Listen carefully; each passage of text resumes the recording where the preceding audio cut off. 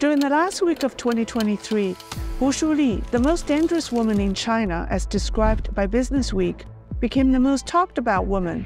She published two articles that openly confronted Xi Jinping's policies. Her writings were quickly removed, and the content of her social media account was deleted. Entering 2024, on January 4th, the media outlet she founded began publishing her book in a series, retracing the exile path of our forefathers and hinted at her anticipated exile. On January 14th, her media outlet released a sensational story on police brutality. That article was also removed, whose successive daring moves have drawn wide attention. Who is she, and why does she have the courage to openly challenge Xi Jinping? Hello, welcome to Lei's Real Talk. I'm Lei.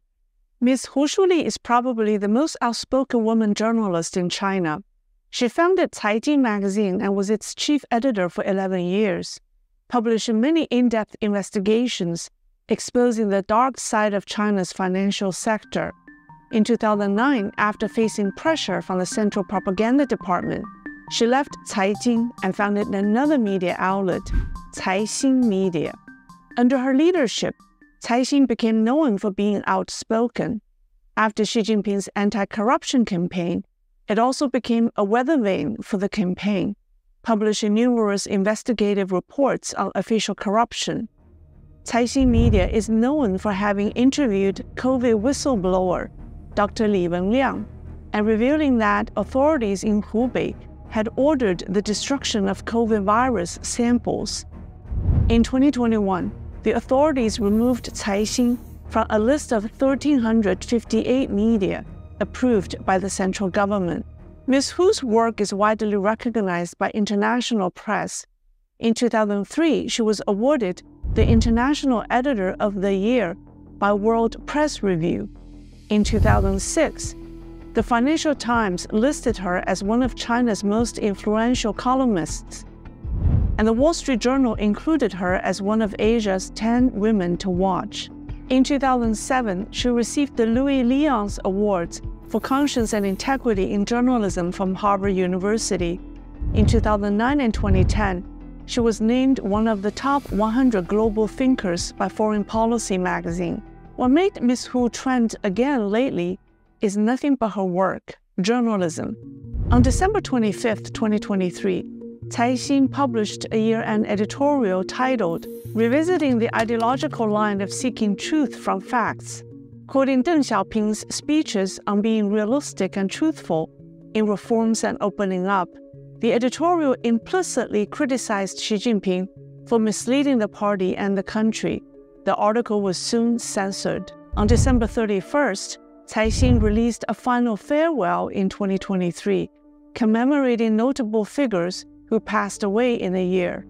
The first person on the list is former Premier Li Keqiang, whose death in Shanghai while swimming appeared suspicious to many.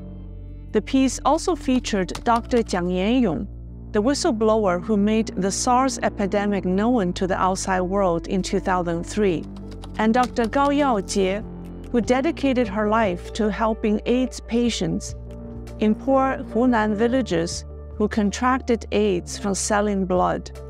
The article was quickly taken down, and all content in Ms. Hu's Weibo account was deleted. After her two articles were censored, Caixin Media began serializing her book, retracing the exile path of my forefathers.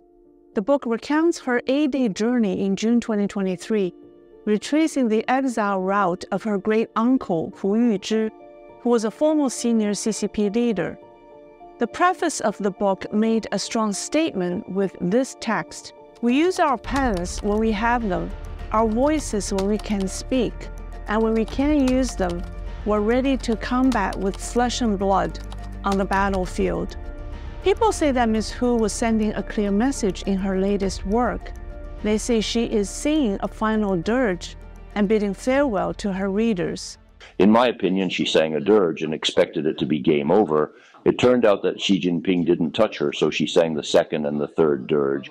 The three dirges were connected and explained why she was bidding farewell and what she would do next. The first dirge lamented that the reforms are dead. Ten years ago, a Chinese scholar said, after the reforms die, revolution will return. Her first article was saying the reforms are dead and she will quit. The second article talks about the deaths of Li Keqiang and Henry Kissinger, implying that reforms are dead, so she's quitting. The third one is about what she's going to do next. Hu was signaling she was quitting and would retreat from the public, but wouldn't give up the fight. When I can't fight using my name publicly, I can be anonymous. When I can't fight using my pen, I'll fight in other ways. On January 14th, shortly after large scale protests broke out in Henan over the authorities' cover up of the death of a 14 year old boy who was suspected to have been tortured at his school by his teachers. Caixin Media published a feature story online on an old case of police brutality in Xinjiang, recounting the horrific death of a policeman's son who was tortured by the National Security Brigade. The reported cruelty and extensive lawlessness shocked readers. The article was immediately removed. After Xi Jinping came to power, those who have lost all hope are backing out. But people usually back out quietly and glumly. They're dejected but don't want to do anything to upset Xi. Hu Shuli, however, is slamming the door while backing out. After slamming the door, she was surprised to see the door was still open. She went in to kick the table. Kicking the table was still not enough, so she smashed the bookshelf before leaving. From quoting Deng Xiaoping's reforms to commemorating Li Keqiang, and exposing public security crimes, Ms. Hu exposed China's societal crisis, a stifling political climate, the lack of rule of law, economic downturn, international isolation, and public resentment. Each article has touched the nerve of the leadership. Although these articles are removed from the internet and content in Hu's Weibo account was cleaned out, her media outlet Caixin is still operating. This has surprised many people. Why didn't the authorities shut down Ms. Hu's media? And who is she? I think Hu Shuli's connections and background are very deep. In Beijing, people say Wang Qishan is her backer, but she would have more connections in Beijing than Wang Qishan if Wang didn't get into politics. Boming Wang, a Chinese financial tycoon, has supported Hu's magazine. Later, Fang Fenglei, a legend and early financial tycoon with international connections, also supported her. She is also very close to Hu Deping. Hu Shuli is also well connected internationally and is one of the Chinese journalists with the most international connections. She was awarded the Knight Fellowship at Stanford and received several top awards from American news organizations. She's done what she's done. Whether or not the authorities will deal with her is being carefully evaluated by Xi. She has a sharp mind and a sharp tongue. Ms. Hu appeared on Times Magazine's list of 100 most influential people in the world in 2011, and in 2013 and 14, she was listed on Forbes Asia's Powerful Businesswomen's list. In 2016, she was conferred an honorary doctorate by Princeton University. In 2017, she was named one of Fortune magazine's World's 50 Greatest Leaders of the Year. Perhaps Ms. Hu's most important status is a princely. Well, in her case, I should say princessly. Her paternal great uncle is a famous publisher, Hu Yuzhi, who secretly joined the Communist Party in the 1930s and later became the vice chairman of the Chinese People's Political Consultative Conference and vice chairman of the National People's Congress. Ms. Hu also befriended Xi Jinping when she was a reporter stationed in Xiamen working for the Workers' Daily in the 1980s. She was the executive vice mayor of Xiamen at the time, and the two got to know each other pretty well. When Hu founded Caixin Media in 2009, it was said that she got Xi Jinping's support. I think within the CCP circles, Hu Shuli has a particular trait. It's a quality we are familiar with. You guys know it. The princelings and the descendants of party officials have a type of ego.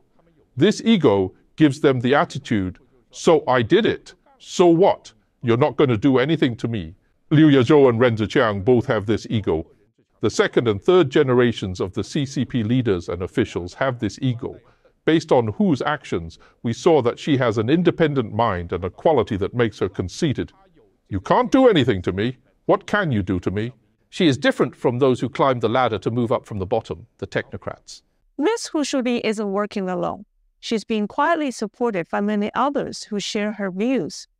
But Xi Jinping hasn't shut down her media because, number one, he's got his plate full and has recently made conciliatory gestures to the reformers, including promoting Hu Jintao's only son, Hu Haifeng, to Deputy Minister of Civil Affairs.